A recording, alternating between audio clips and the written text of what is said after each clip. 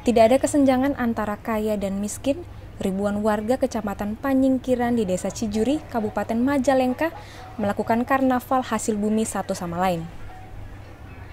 Berbagai hasil bumi dibawa warga menggunakan kendaraan roda empat untuk disajikan bagi masyarakat yang ingin mencicipinya.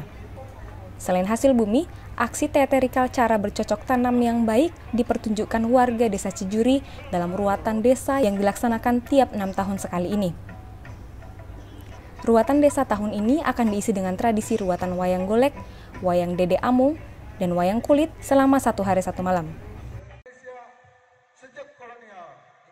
ternyata masih mempertahankan melestarikan budaya-budaya masyarakat desa yang uh, oleh para leluhurnya uh, uh, masih oleh para leluhurnya diciptakan dan sekarang masih dilestarikan oleh masyarakat meskipun hari ini sudah merupakan zamannya milenial tapi tetap harus uh, diberdayakan karena ternyata budaya Guar Bumi ini semesta yogianya adalah bersyariat Islam.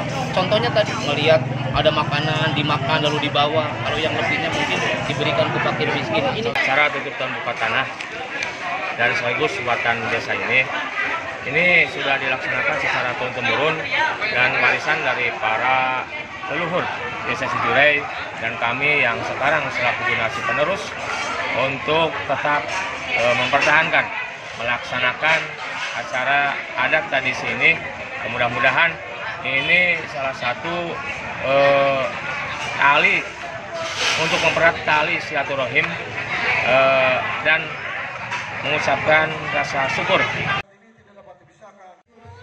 Dari Majalengka, Jawa Barat, Edward Ruspendi Tribrata TV, Salam Tribrata.